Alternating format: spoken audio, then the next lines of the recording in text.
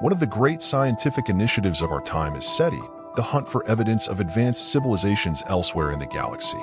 SETI uses powerful radio telescopes to explore the universe at some of the longest wavelengths of light.